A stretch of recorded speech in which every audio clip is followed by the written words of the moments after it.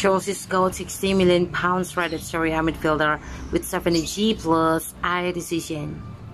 Chelsea Repoli Keenan signing 26 years old Atalanta midfielder Teun Koopmeiners in the summer transfer window. According to a report from Hedge, Chelsea scored Teun Koopmeiners in Atalanta's UEFA Europe League class with Liverpool this week and it will be interesting to see if they decide to follow up on their interest with a concrete proposal to sign the Dutchman from the Serie club in the summer transfer window.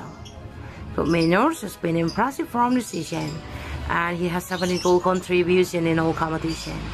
The Dutch midfielder has certainly proven his worth in Serie and he could be keen on taking the next step in his development. A move to the Premier League will be an exciting opportunity for him and he will get to showcase his qualities at a higher level. Chelsea have been quite mediocre in recent seasons, but they are still one of the biggest clubs in the world. The opportunity to join them can be quite exciting. The Blues are currently lacking a midfielder with his skill set, and he will add goals and creativity to the side.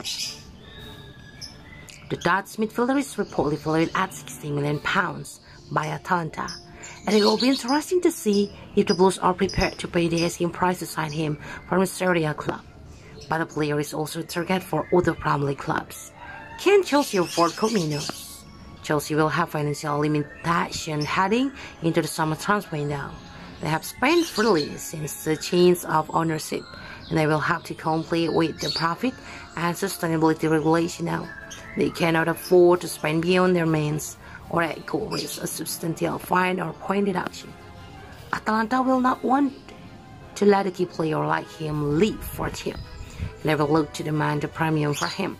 It remains to be seen whether the two clubs can secure an agreement for the 60 million pounds rated midfielder.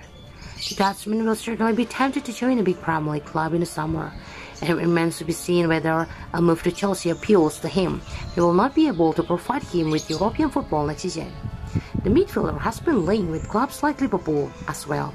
The Reds will be able to provide him with UEFA Champions League football next season and uh, opportunity to reunite with his compatriots Cody Gakpo and Virgil van Dijk might be more tempting for the player. It will be interesting to see how the situation develops.